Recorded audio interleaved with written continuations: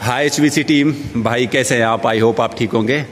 भाई ये वीडियो है आ, गैस रिकवरी की। रेफ्रिजरेंट रिकवरी हम जो चिलर से कैसे करते हैं? तो ये एक भाई का जो है बहुत पहले का क्वेश्चन था।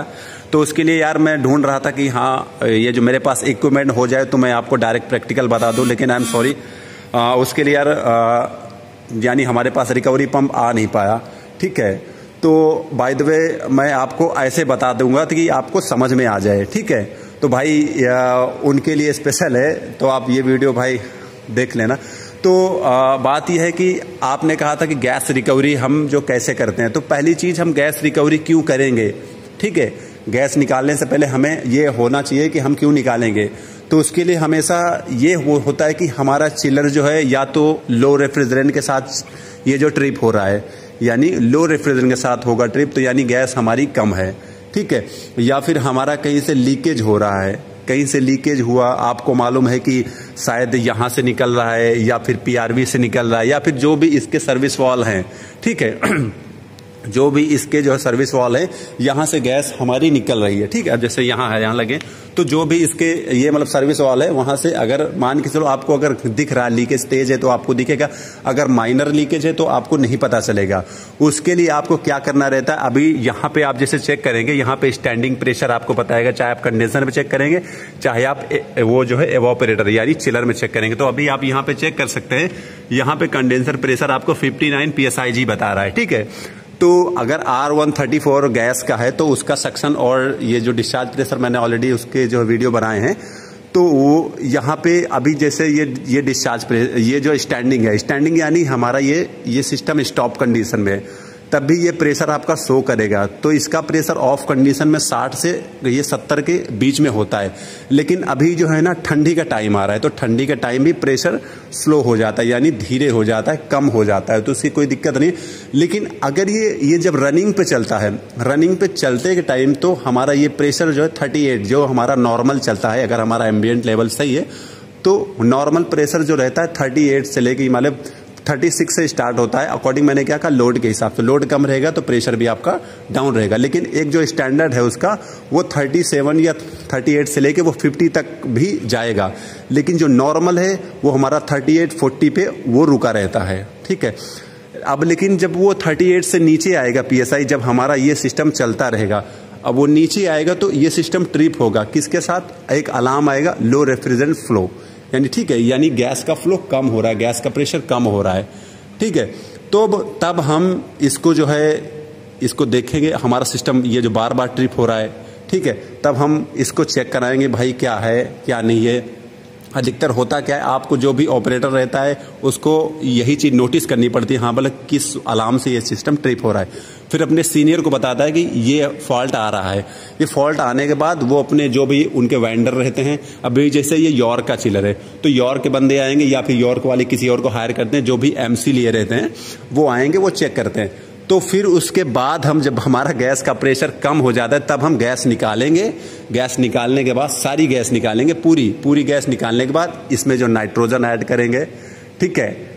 गैस निकालने के बाद फिर उसको ऐड भी की जाएगी। ऐसा नहीं गैस हमने निकाल ली।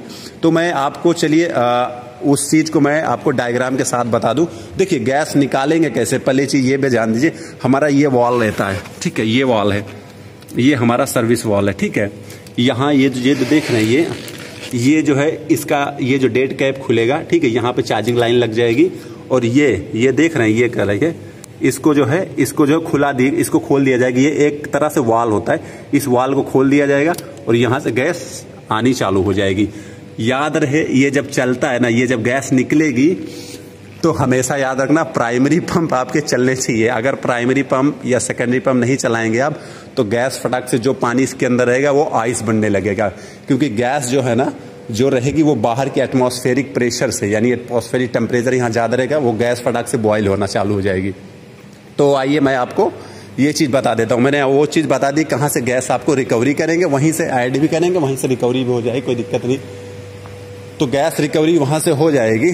तो मैं आपको चलिए, यार वो मिल नहीं पाया सिस्टम फिर भी मैं आपको यहाँ पे बता देता हूँ। देखिए, जो मैंने डायग्राम बनाया है, आपको कोशिश करता हूँ यार समझ में आ जाए। देखिए, जैसे हम क्या करेंगे, जो हमने वॉल दिखाया, ये वॉल था, ठीक है? हमने जो अभी आपको वॉल दिखाया, ये वॉल था, ठीक है? ये वॉल था, ये इसका डेट कैप है। ये चिलर है हमारा, ये कंडेंसर है, ये हमारा ऊपर वाला कंप्रेसर है। ये हमारा एसपी एसपी यानी सेकेंडरी पंप ये हमारा पीपी पीपी यानी प्राइमरी पंप ये हमारा एचयू ठीक है? और ये उसकी लाइन है। और ये हमारा है जो है रिकवरी पंप ठीक है, कुछ निकालने के लिए और गैस ऐड करने को ये वो बड़ी बात नहीं ये हमारा रिकवरी पंप है, ये हमारा सिलेंडर है। ठीक है सिलेंडर और सिलेंडर के नीचे याद रखना, एक जो है ना वेट मशीन होती है, यानी एक तरह से हम हम जिसे कहते हैं तराजू। तो वो जो है तराजू, यानी वो जो है वेट मशीन यहाँ पे रखी जाएगी। कितना केजी इसके अंदर गैस आ रही है? आइए मैं आपको एक चीज़ दिखा देता हूँ कि हमारे ये सिस्टम में कितनी गैस पड़ी हुई है। देखिए यहाँ पे आप यहाँ पे जो गौर ये चीज़ गौर करना ये हमारे पास जो है R one thirty four gas है और ये हमारी कैपेसिटी ये जो आप देख रहे हैं ये 650 650 टीआर का चिलर है ठीक है 650 टीआर इसकी कैपेसिटी ओके? अब हम आपको यहाँ पे दिखा देंगे हमारी जो है गैस कितनी पड़ी हुई है वेट के अकॉर्डिंग ठीक है? तो आप यहाँ पे आ, आप देख सकते हैं देखिए यहाँ पे आ, ब्लर हो रहा है ठीक है पहुँच गए हम। तो आप यहाँ पे शो कर देखिए, यहाँ पे रेफ्रिजरेंट लिखा हुआ है। Refrigerant R one thirty four इसके अंदर चार्ज की गई है। चार्ज यहाँ पे देख रहे हैं, छह सौ इक्कीस किलोग्राम। देख रहे हैं ना यानी ये 621 किलोग्राम ये गैस इसके अंदर चार्ज की गई है। अराउंड अगर हम बात करें तो कितना हो गया? छह क्विंटल। क्या बोलते हैं उसको? 100 केजी को? एक क्विंटल ना? तो ये छह कुंटल, यानी 621 केजी इसके अंदर गैस पड़ी हुई है। तो इसके लिए हम जो तराजू भी रखते हैं और अपने लाइन गेज, जो हमारा रिकवरी पंप पे जो है, वो लगे रहते हैं गेज, ठीक है प्रेशर गेज, जो भी कंपाउंड गेज लगते हैं तो वो लगे रहते हैं, वो हमारे प्रेशर के साथ साथ बताते रहने हाँ मतलब कितनी गैस इसके अंदर जा रही है, ठीक है। फिर हम ये जो बाटले के यानी जो हमारा सिलेंडर रहता है सिलेंडर हमारा 150 वो जो है वेट करता रहता कि कितनी गैस आ रही है। तो हमें एक सिलेंडर में तो होता नहीं है क्योंकि उसके लिए जो तीन चार सिलेंडर लाने पड़ते हैं। एक एक भर गया तो उसको हटाओ, दूसरा यूज़ करो। ठीक है तो हम बात करते हैं यहाँ पे, ठीक है? तो हम क्या करेंगे? देखिए, पहली चीज़ तो हम यहाँ से एक लाइन लेंगे, यानी चार्जिंग लाइन चार्जिंग लाइन के मान के चलो सपोज़ करो हमने इससे कनेक्ट कर दिया, ठीक है? और ये गैस हमारी इधर से आएगी, ठीक है? ये हमारी गैस आएगी और दूसरी तरफ़ से मान के चलो, बस एक तरह से आप समझ लीजिए कि रिकवरी पंप से कहाँ जाएगी गैस। ठीक है, ये गैस जाएगी हमारे सिलेंडर में। ठीक है, ये पकड़ लीजिए, हम सिलेंडर में दे रहे हैं। तो यहाँ पे हमने क्या किया? इसका वॉल खोला। ठीक है, याद रहे, आपको प्राइमरी पंप और सेकेंडरी पंप चलाना है। आपको कंप्रेसर चलाने की ज़रूरत नहीं है वहाँ पे, ठीक है? कंप्रेसर तब चलाया जाएगा जब हमारी गैस ऐड होती यानी जब हम गैस डालेंगे, तब हमारा कंप्रेसर चलेगा। लेकिन अगर गैस रिकवरी की बात की जाए तो गैस रिकवरी में केवल आपको पंप चलाना है। केवल पंप केवल सेकेंडरी पंप वहाँ पर आपको कंडेंसर पंप चलाने की ज़रूरत नहीं है। ठीक है, वो उसकी अलग लाइन होती है। तो हम यहाँ की बात कर रहे हैं। तो जब हम यहाँ से वाल खोलेंगे, ये लाइन आएगी। यहाँ पे ये रिकवरी पंप है। रिकवरी पंप अपना क्या, इसके अंदर पंप लगा रहता है, वो गैस को खींचेगा। ठीक है? वो गैस को खींच के इसके अंदर लाएगा सिलेंडर के अंदर। अब देखिए, यहाँ पे भी एक चीज़ हमेशा नोट करना, जब सिलेंडर के अंदर आएगी ना तो गैस का क्या होता है? आर वन थर्टी फोर का जो है, जैसे हमारे पास है R one thirty four small है। इसका बॉइलिंग पॉइंट माइनस छब्बीस डिग्री सेल्सियस है।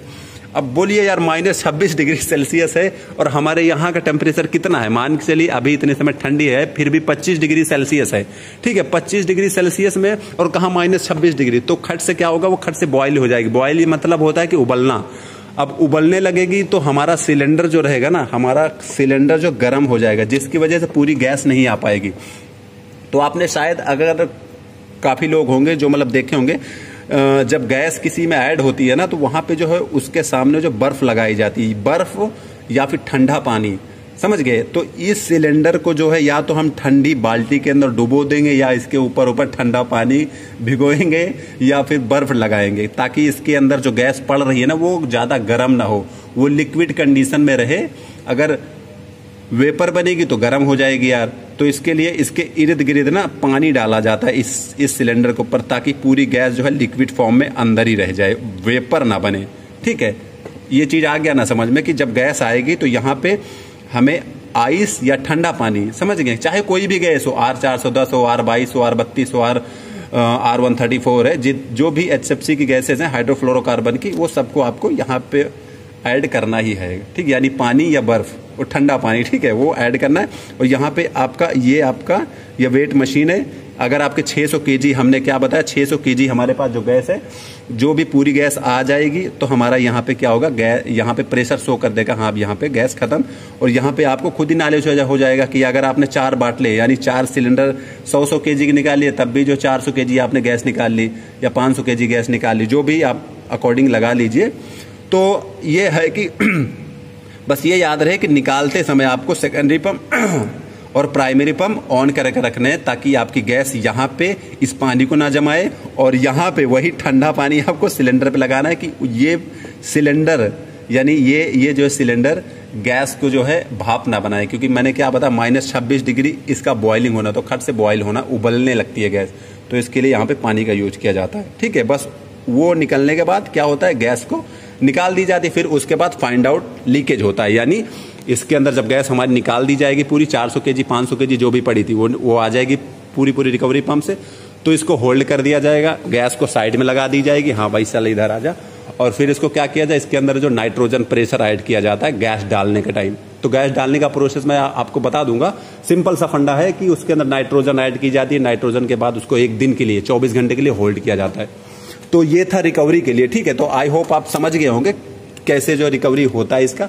सिंपल सा है, वहाँ पे वो देख रहे हैं, वो लाइन है, वहाँ पे लगाई, एक लाइन रिकवरी पंप में डाल दी रिकवरी पंप से डायरेक्ट सिलेंडर में सिलेंडर के नीचे याद रखना वेट मशीन होती है, होना भी वहाँ पे ज़रूरी है।